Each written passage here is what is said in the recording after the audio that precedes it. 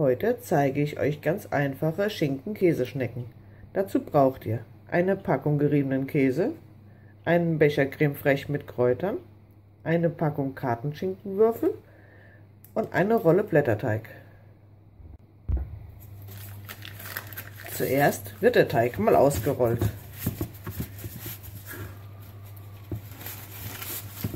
Und anschließend mit Creme fraiche bestrichen. Wenn ihr das Creme fraiche überall verteilt habt, kommen die Schinkenwürfel darüber.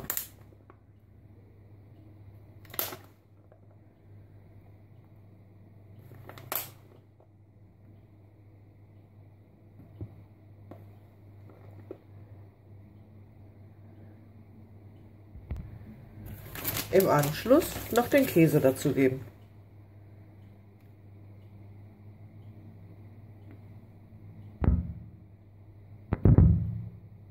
Wenn ihr alles gut verteilt habt, das Ganze zusammenrollen.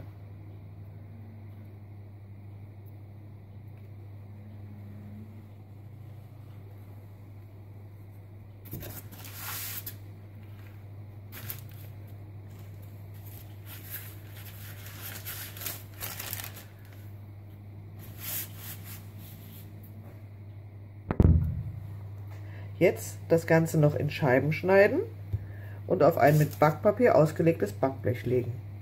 So geht das Ganze dann für 20 Minuten in den auf 180 Grad vorgeheizten Backofen. Wenn sie schön goldgelb gebacken sind, aus dem Backofen nehmen. Jetzt noch etwas abkühlen lassen und genießen. Ich wünsche guten Appetit!